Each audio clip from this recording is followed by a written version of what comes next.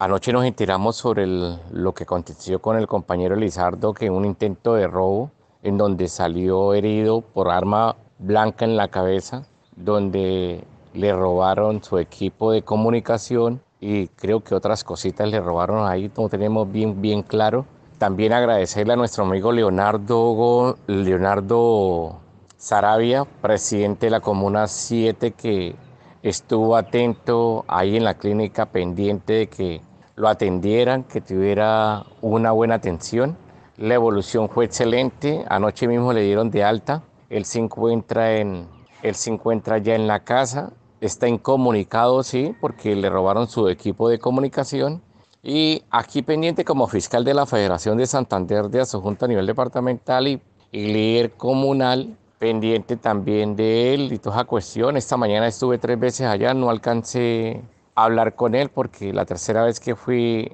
ya había salido de la casa, toda cuestión, pero vamos a estar pendiente de verdad, acompañándolo y brindándole un parte de tranquilidad a él que es, es, aquí tiene la familia comunal al lado y siempre lo vamos a estar apoyando.